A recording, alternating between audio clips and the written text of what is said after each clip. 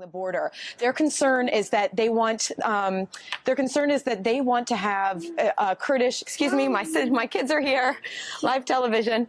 Uh, they want to have. Um, they want to have some sort of a an area where the Kurdish uh, forces that are in Syria, in northern Syria, who Turkey sees as a real threat, as a yeah. terror threat, they want to make sure that they don't they aren't able to establish an area that they could present an